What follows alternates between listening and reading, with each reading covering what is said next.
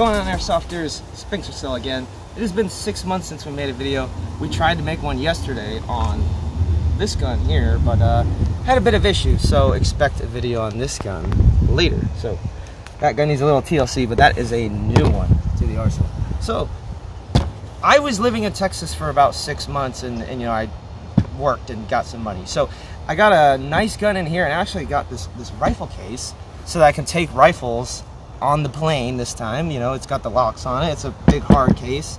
Got it in Texas, and it's a, it's a Plano case. So I think it's pretty badass. Now I can go to California. I can go wherever I want and take guns with me. So it's got the locks on there. Had to get a TSA approved case to fly. So this is a gun that I got in Texas. Well, no, technically I got it on a hop up. I unboxed it in Texas in a hotel room, and it sucked. So I'm not gonna upload that. So here it is. These are two new guns that I have got while I was living there. This is a VFC 416 in literal mint condition. It even came with the mag in the original box. I got this gun for 100 bucks because the guy doesn't know what's wrong with it. So I will be making a uh, how to buy used airsoft guns guide and minor tech guide. So a video will come out on that later once this gun is complete. But this is the bread and butter of the video. This is an SAI EMG Salient Arms Gray. And I have to admit, you guys, this is actually my newest favorite rifle from my entire arsenal. This gun is just awesome. I love it. I approve of it. I've shot it already because, uh, you know, you didn't get to see the unboxing because, honestly, the unboxing sucked. It was in a dark hotel room. But, um, yeah. Um, so this gun, the story behind why I got the gray. Um, I'm going to Copperhead 6 this year. Ignore that donkey over there. oh, that donkey's going ham. What's wrong with that thing? Anyway, um... Oh my god. so anyway, um, I'm going to Copperhead 6 this year. I bought my ticket. I hope I see you guys there. Um, my plan originally was to get the LVOA in tan, the Krytac and couldn't find it for the right price. So I said, you know, fuck it. Like, I'm going to look for the gray. And some dude was selling the gray. Um, and guess how much I paid for it? 200 bucks for the SAI gray. So, I mean, the condition, a little scratch, but like, honestly, who cares? The problem is, like, I like buying used guns because who wants to buy something brand new and then you get like a scratch and it's all fucked up. So, like, I could treat this kind of like shit if I want to. Um, the reason it was $200 the guy didn't know that it worked. He's like, oh, I don't want to sell you a gun and then find out that it's broken. So I was like, you know, 200 bucks. I Actually offered him more. I offered him like 250. He's like, ah, 200. I'm like, screw it. So obviously it comes with this Magpul grip, which is pretty comfortable. Um, it also comes with this cool stock. Now this is the EPS PTS Magpul stock. And I gotta admit, I like this because these guns come with, um, some of them come with like a lame stock and this one happened to come with a really comfortable really nice crane style stock which has great battery space. Um, so some of my personal opinions about the rifle. Um, one of the reasons it was so cheap it's missing the pin here so there's some like ugly tape but I plan on getting the pin later because this is like a quick detach rail. So this is the jailbreak SAI gray so obviously it's gray. Some of them come in black. Now the rail is just so cool. Here's the muzzle brake, the jailbreak muzzle brake. And so the thing is, I seen this a long time ago when SAI first made it, and I thought that is super cool, dude. Like I can't wait for an airsoft one. The airsoft one came out at a crazy price, so luckily enough, I was able to get one for a really cheap price. So it's a quick detach jailbreak muzzle device.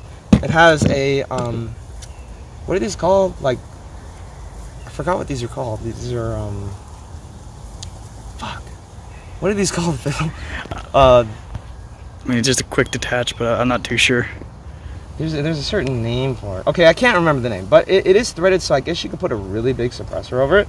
And then there are 14 millimeter negative threads underneath, so you can attach a suppressor, which I will do later, maybe not during the video, but we are going to get a lot of gameplay with this gun. So without the muzzle brake, it's actually kind of like a normal size, kind of normal looking M4, but obviously what makes it so cool is the attachment of this thing. And the real steel one is designed to like disperse um, like the muzzle flash because it's got all these little cool little holes. Now the design is super cool because you can add attachments that will slide on from the front. So you have a little bit of Picatinny space there, but you can slide a flashlight on through the front or if you wanted through the back. So this rail is just so freaking cool. The paint is awesome. You can see here all the trademarks are etched. They're not painted, they're etched. So we have SAI logos. See, some are covered up. But we have SAI logos everywhere. SAI box logo. The um, the selectors points are engraved. Another logo here. Um, markings along the top. You have all the trademarks for the gray, all etched. Main Las Vegas. So yeah, um, personal opinions about the gun. Um, I hate the grip. Now the grip is like a knockoff Magpul style with some like what looks like SS logos on it. But um, I just I'm not a fan of this chunky grip. I think it's really uncomfortable. I have a Magpul um, grip that I will be throwing on here. Now the motor on this gun, we'll see in a second. I think the motor sucks on full auto, so I'm gonna put a Titan uh, a Titan A1 motor in here for my SCAR since my SCAR's busted and it's just a piece of shit. The VOC SCAR internals are so bad. So I'll put a motor, um, grip, um, and it's honestly a little inaccurate. Now I can't speak for how this gun performs stock because this is a used gun. So who knows what the previous owner did to it. I'm, I think it's stock. Now the thing with these is that some of them have like a regular G&P gearbox. This one has the i, I think it's called the i5 or the i8. I'm pretty sure it's i5 gearbox. So it actually has a micro switch. So let's see if I can just, if I can do this on camera. look. There's the click point right there. Really short click point micro switch. So that's cool. Um, I, when I got this gun, I was expecting just regular trigger contacts. But since it has a micro switch, like I was gonna put that in there, but it already has it, so I was pleasantly surprised about that. Um, the weight of the rifle, I'm guessing, six, seven pounds. It weighs a lot less without the muzzle brake. Um, the tolerances and fitment, it moves just a little bit from the upper and the lower. But then again, I'm missing this pin, um, so we can't speak for how the stock gun is going to feel. Um, the selector switch I do not like. Luckily, it's not ambi. Ambi selector switches on airsoft guns suck, especially VFC. But um, it doesn't click into place. There's no audible click like with the VFC down here has a really nice selector switch. This one does not click into place, so it's a little difficult to tell. Like say you got it in the middle by accident, you'll have issues. But it's like a polymer, like extended one. Um, Forest Thunder doesn't like it. Um, I don't know how I feel about it yet, but it seems okay. Um, other than that, what can I say about this rifle? It has the fake gold bolt that I actually added to my APS, if you remember that. Um, it's a little finicky um, since I got the gun in two parts. So you have a stock um, hop up, which I don't really like. And then to close it, I just have to push it. It also has the SAI, like shiny forward assist, which does nothing. But you know, SAI likes to be fancy. Standard magazine release. Um, I want, I, I wish I had a flat trigger since it, you know, it's got the really sensitive trigger. A flat trigger would be awesome, so maybe I'll put that in later. So since this, since I like this rifle so much, I'm gonna really put the best internals I can into it and make it like my workhorse go to. Like this is my new primary for airsoft right now. Um, so without further ado, let's shoot it because that is exciting. And uh, we'll see how it goes. I find it really comfortable to hold it like this and use this as more of a hand stop. So my hand is resting here, my thumb here. You can see that's that's just the most comfortable way of controlling it in my opinion. This, I feel the grip is in a weird position. I could move it if I want to, but overall this feels really comfortable and I like that. So uh, yeah. Oh, and by the way, the, the bolt does not close because this is really fat and it'll actually damage this. So it's got a little scuff me trying to close it. So that actually does not close. So um, let's take a look at the battery compartment. I love this stock. I think this stock is awesome. It's really comfortable, really easy to access. Previous owner has added Dean's plugs and I don't see a fuse in there, so that's good. That's what I would do. Um, plenty of space for lipos. You know, you got the crane style. You can put lipos in either spot. You have tons of space for wiring. So, good battery compartment. Let's get ready to shoot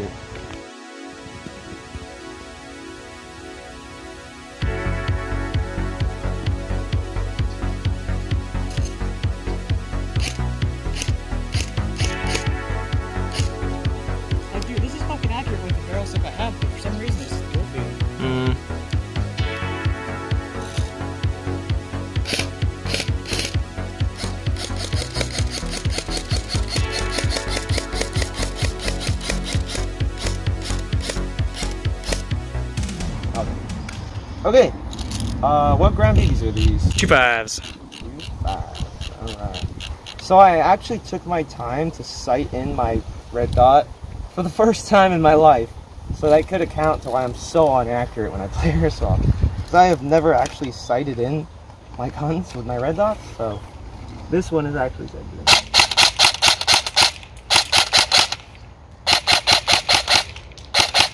Great trigger response because of that micro switch.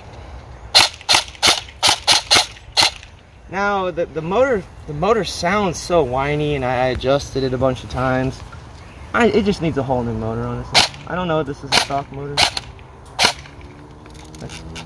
But overall, um, range is okay. I had a scope on there and I was looking at accuracy. It was kind of wild. Um, like I said, I'm changing the internals. Motor, barrel, hop, hop rubber, all that. I'm leaving the gears and the, and the gearbox alone.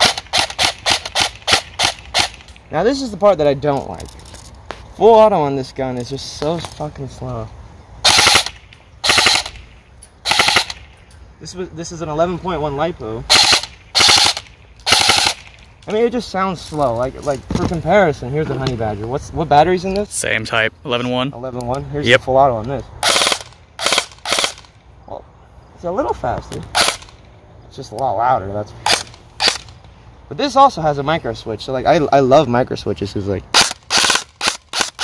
Why did fire full auto? What the heck? Okay, but uh, anyway, yeah, I I don't like the full auto. I think it's a bit slow.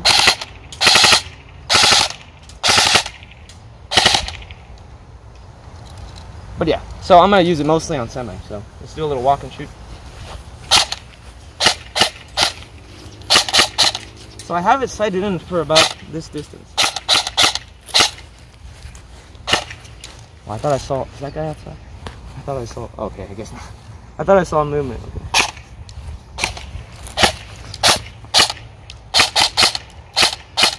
I love the trigger response. Any any micro switch in a gun is fantastic.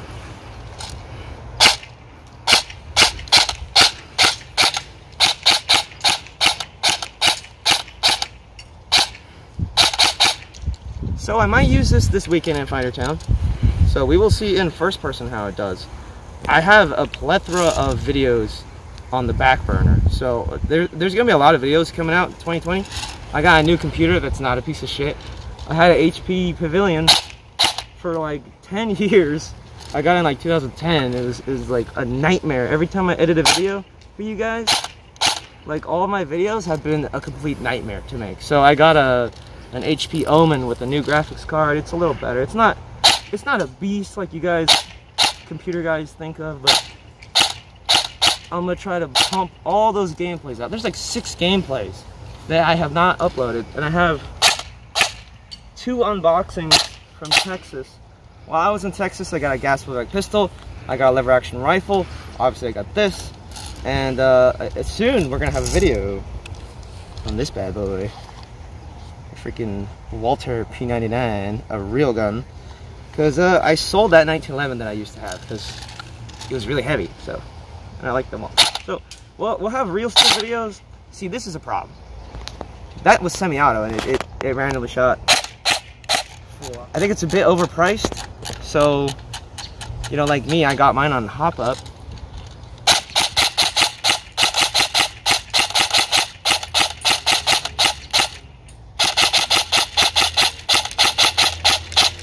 Mmm.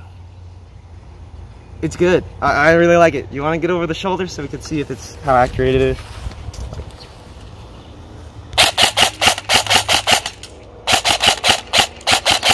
I fucking love the trigger response on this. That's basically empty. So, um, yeah, that has been the uh, the Salient Arms EMG Evike Manufacturing Group gray rifle. So, um, this gun, I, I'm pretty sure most of them are really long.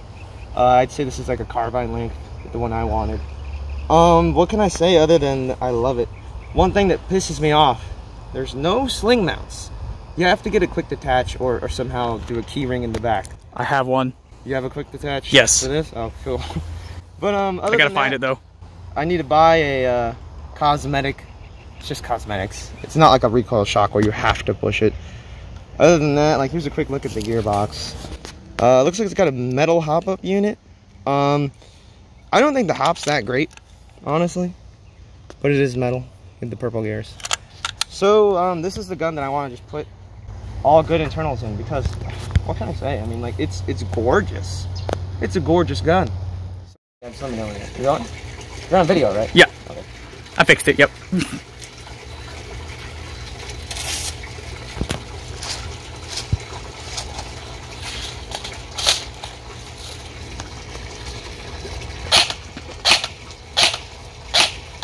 My old freaking backpack.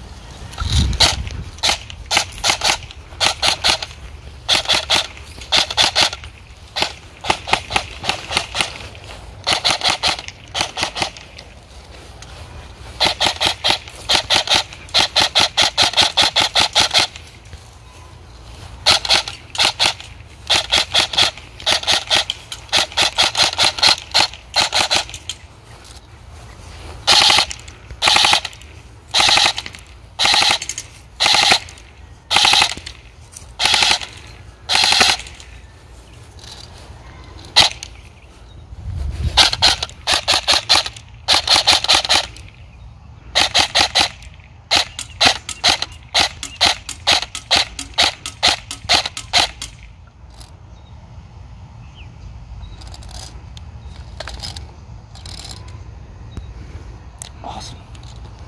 That shot awesome. Pause it. All right. Today is my last chance to get two quarter pounders for the price of one. So. oh yeah. Um. I shoot it without the jailbreak. Oh yeah, this thing I, I was trying to remember what it's called. Muzzle brake. That's what this thing's called. Oh. It's weird when you screw it in all the way. It's not like the muzzle brake should be on the sides of the gun, but for some reason it's on the the front and the top. So, so it's a lot like look, it's like a regular M4 now, almost, almost. Motor's getting pretty warm, but it's uh, 11.1 on semi. So.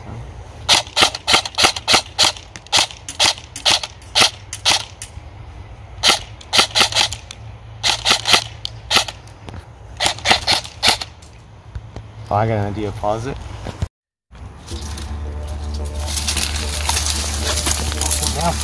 Australian nib hunter here, back in the Amazon. Old Australian nib hunter got stung by a stingray, so uh, we're here to take over. We have this rifle.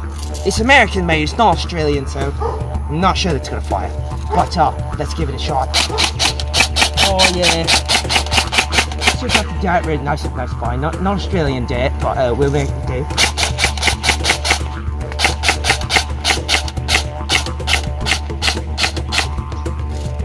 It may be American made, but we'll see what we can do with the rifle.